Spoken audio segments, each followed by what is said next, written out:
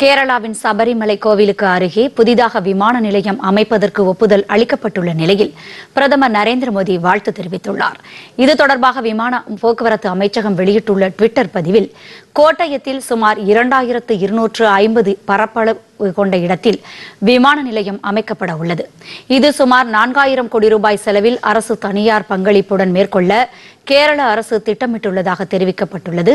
இதனை பகிர்ந்து செய்தி வெளியிட்டுள்ள பிரதமர் சுற்றுலாவுக்கு குறிப்பாக ஆன்மீக சுற்றுலாவுக்கு நல்ல செய்தி கிடைத்துள்ளதாக தெரிவித்துள்ளார்.